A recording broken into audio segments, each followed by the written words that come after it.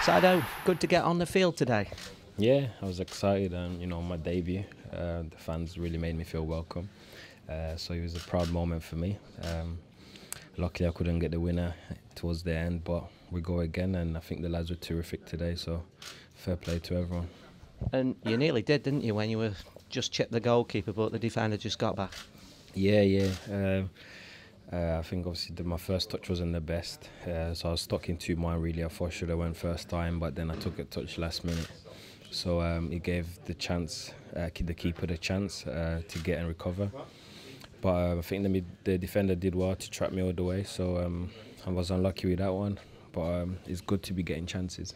And how did you feel out there? Okay. Yeah, I was excited. You know, I think last night I couldn't really sleep because um, I couldn't wait until I I made my debut because it's been a while since um, I've got some action. Um, it's been it's been terrific, really. You know, the journey continues, and the fans made me feel welcome, and I thank all of them. And let's kick on now and push on to the end.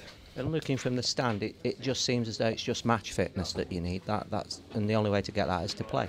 Definitely. Um, obviously, I'm gonna get some minutes there and then, and when I'm ready. I'm pretty sure I'll be knocking on the door for the for the start. But right now I'm taking it steps as it comes, and the gaffer's looking after me really well. So we take it like that.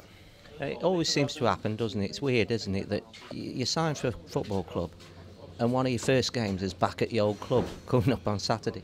Yeah, yeah.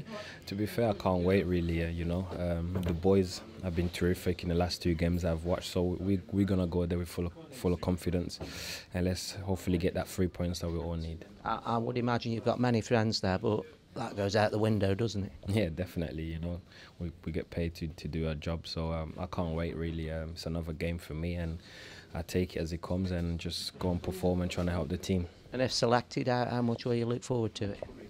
Oh, more than ever, you know. Um, I haven't started a game since September, so if I get the call and I'm and I start, I'll be more than delighted to.